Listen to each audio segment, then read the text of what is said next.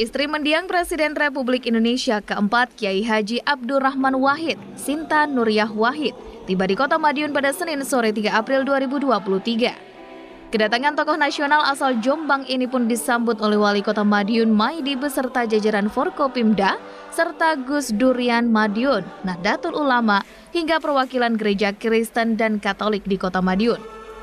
Rombongan perempuan yang akrab disapa Nyai Sinta ini tiba di Pondok Pesantren Riyadul Jannah Jalan Jambu Kelurahan Kejuron.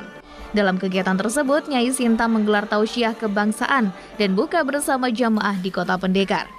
Nyai Sinta mengungkapkan kegiatan ini telah dilakukannya sejak mendampingi Gus Dur sebagai kepala negara lebih dari 20 tahun lalu. Meski begitu, ibu empat putri tersebut menjelaskan bahwa program ini dimaksudkan selain untuk menyapa masyarakat luas tanpa sekat, juga untuk menebar kasih sayang dan semangat kerukunan serta persatuan bangsa. Menurut Nyai Sinta, perbedaan ras, suku, agama, dan budaya bukanlah penghalang. Apalagi untuk memecah belah, justru menjadi penyemangat untuk menjaga persatuan dan kesatuan secara utuh. Sementara itu, Wali Kota Madiun Maidi mengungkapkan rasa terima kasihnya atas kedatangan Nyai Sinta. Dalam kesempatan tersebut, orang nomor satu di kota pendekar ini juga mengajak masyarakat untuk bisa meneladani Gus Dur. Bahkan setelah wafatnya, Gus Dur masih memberikan manfaat bagi masyarakat.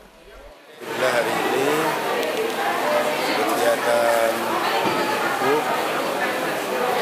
Gus Dur, Kota Madiun, saya bangga sekali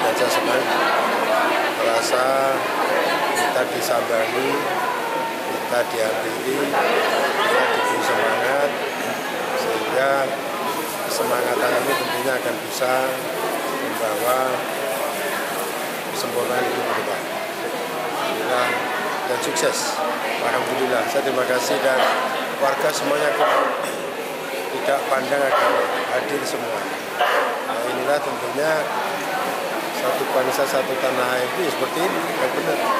Tidak ada saling menyalahkan saling mengejek saling debat antara seperti ini. Terima kasih sekali.